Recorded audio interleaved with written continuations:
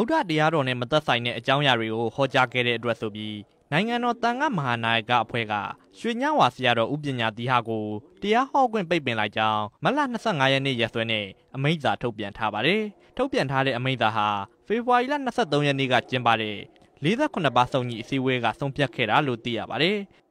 2014တနလပိုင်းနဲ့စပြီးတော့တို့ဒီပါ အမေရိကန်ကြီးရပြန်ရောက်တယ်တော့ရက်ပဲနာအဲ့တော့တော့တော့ဟောတယ်တရားဟောတဲ့တရားလည်းဘုရားတရားတွေဘုရားအောင်ဆန်းရဲ့တတရားဖြစ်တရားတွေဟောတောင်းတော့ချက်ငါအတန်ထုတ်အောင်ဘာဖြစ်လို့ဒါတော့ဒီဘုရားပွင့်ရင်းမြင်တာရဲ့ကာလာယုကိုပြတ်သားဖို့အတွက် ဘာဖြစ်လို့မဟာနာမဘာတာဆိုရလက်ဝါးကျွနဲ့တိုင်းပြည်ကိုဘလောက်ပဲ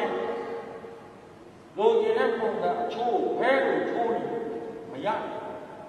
မရအဲ့ဒီစာမှာရွှေညဝါဆရာတော်ဥပညာတိဟကိုတန်ခါနာယကအဖွဲ့ရဲ့သို့ဆုံးမတာကိုနာခံမှုမရှိသူဒုပ္ပသပုဂ္ဂိုလ်အဖြစ်သတ်မှတ်ထားတာလို့ဓမ္မကတိကဂုံအင်္ဂါနဲ့မညီညွတ်တဲ့အတွက်တရားဟောခွင့်ကိုပိတ်ပင်ကြောင်းရေးသားထားပါတယ်လူကြီးလူမတဲ့ နိုင်ကဘုံနဲ့ပြည့်စုံမှုမရှိတဲ့အဆုံးမအငိတ်ကလိုက်တာကိုယ်ဆုံးကိုစားလူလည်းဘုံကိုလည်းဘုံလူလည်းဘုံကိုလည်းဘုံ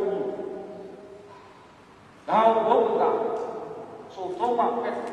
မလိုက်နိုင်တဲ့တော့သူ့ရဲ့ဟာဒီမှာကြီးကိုဆဲတဲ့ကောင်ကြော င့်ဘာလို့တက်ပြီးပလီလီဝမှာပညာရေးနဲ့တရားဥပဒေတိုးဝေးနဲ့တိုင်းရာစီလုံးကြီးဝေးနဲ့ဘုံပြည့်တည်ရှိတဲ့နိုင်ငံကအတိမတ်ဆရာတော်တဲ့တိုင်းပြည်ပြည်လာမှာအများကြီးပြောပေါ်ရွှေညဝါဆရာတော်ကိုနိုင်ငံတော်တန်ခါမဟာနာယကအဖွဲ့ကအလားတူပိတ်ပင်တဲ့အမိန့်စာကို2012ခုနှစ်ဖေဖော်ဝါရီလကတစ်ကြိမ်ထုတ်ပြန်ခဲ့ပူပါတယ်။အရင်ကထုတ်ပြန်ချက်တွေတုန်းက တိုင်းတစ်ခုချင်းစီသာဖြစ်ပြီးအခုအချိန်ဟာတနိုင်ငံလုံးအတိုင်းအတာနဲ့ထုတ်ပြန်ခဲ့တာဖြစ်ပါတယ်ခင်ဗျာ။